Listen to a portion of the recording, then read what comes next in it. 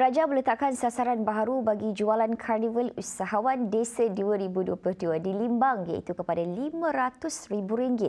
Timbalan Menteri Dua Pembangunan Luar Bandar Datuk Hasbi Habibullah berkata sasaran tersebut dibuat selepas kejayaan kutipan hari pertama yang melebihi sasaran asal RM200,000.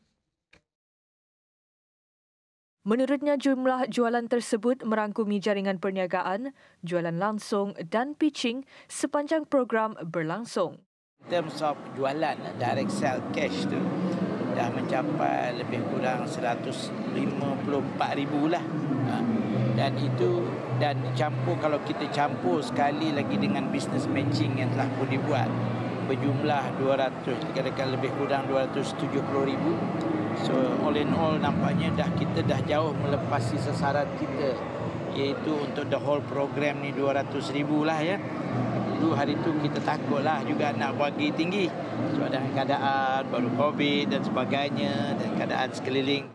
Jelasnya lagi, sekiranya trend ekonomi di kawasan itu berkembang susulan penganjuran karnival, kerajaan akan mengusahakan pelbagai kemudahan termasuk pusat pengedaran produk di bawah kementerian berkenaan. Selain jualan, sasaran kunjungan juga telah diubah daripada 5,000 orang setiap hari kepada lebih 18,000 pengunjung bagi KUD at Limbang 2022.